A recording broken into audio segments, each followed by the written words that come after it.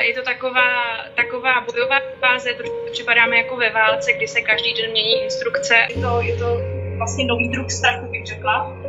A občas je tam taková zloba na lidi, kteří stále mají pocit, že ta opatření jsou zbytečná a nedodržují je.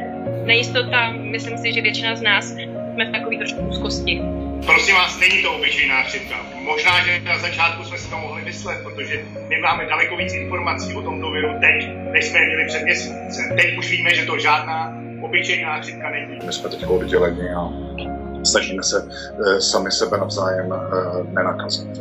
Momentálně tady probíhá přestavba na oddělení, kde se připravují na to, že v příštích dnech přijde nápor e, pacientů ve velmi těžkém stavu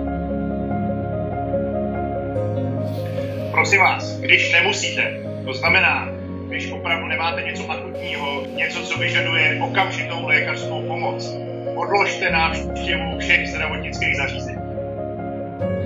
Chraňte zdravotníky eh, tím, že nevystavíte nebezpečí nákazy, protože každý výpadek ve službách eh, zdravotníků v tuhle chvíli bude v následujících dnech znamenat veliký problém. Musím říct, že je teďka strašně důležitý dodržovat všechna ta opatření, která se zdají jako banální. Jsou to maličkosti, výukou, nošení roušek, snažit se nevycházet ven.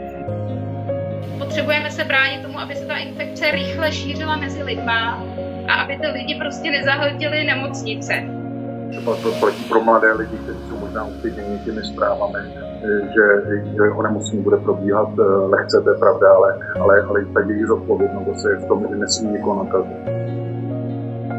Děkujeme všem spolupčanům za kázeň, která je přesně to, co v tuto chvíli umožňuje všem našim výjezdovým skupinám vydržet dlouhodobě. A vy svým chováním můžete opravdu ovlivnit průběh následujících dnů a můžete ovlivnit zdraví nás všech.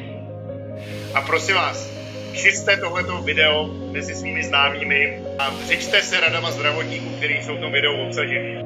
Díky.